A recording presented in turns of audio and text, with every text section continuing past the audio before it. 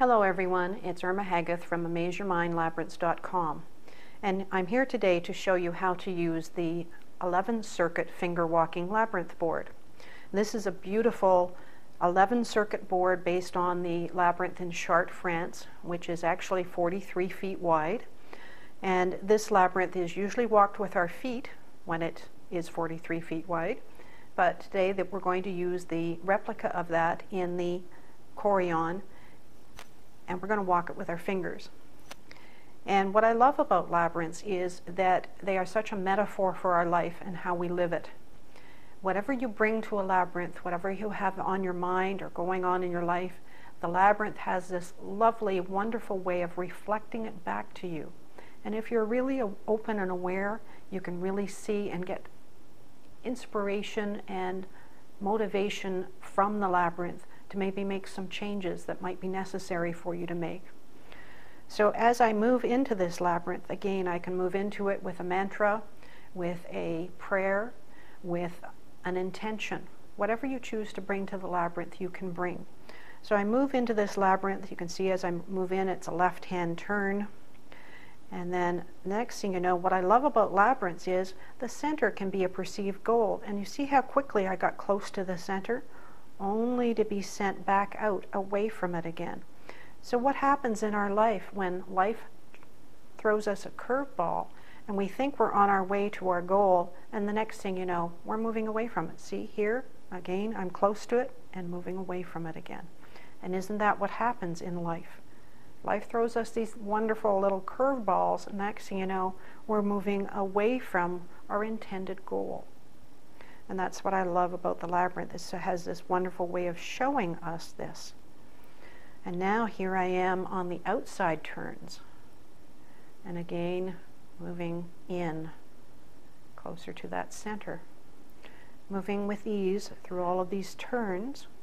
180 degree turns. So you you're going along chug chug chug towards your goal and all of a sudden that curveball comes and oh, I'm going back in the other direction.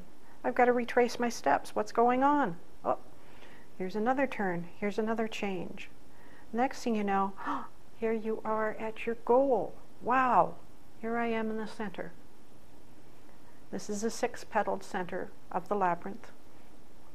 You can stay in the center. You can move from petal to petal if you want, whatever feels good for you or right for you. You can take your three deep breaths here. You can visualize here. And when you're ready, you can start your journey back out. The idea is that you always go in and you always come back out without lifting your finger off the board. This is very important. You won't have a complete experience of walking a labyrinth if you don't go all the way in and come all the way back out.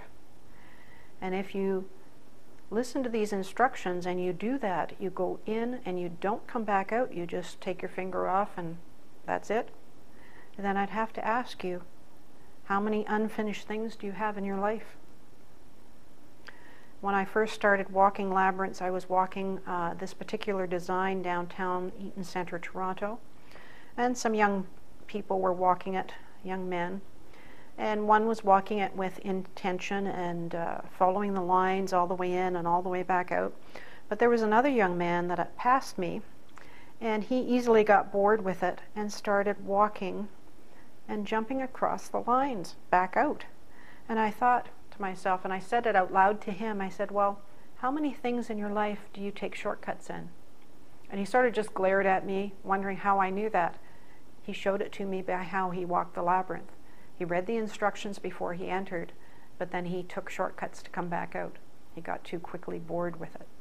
And a labyrinth is all about the journey, not the destination. So please Continue to use them. Continue to explore all the magic and wonder that labyrinths have to show us. And thank you for joining us here today. Namaste.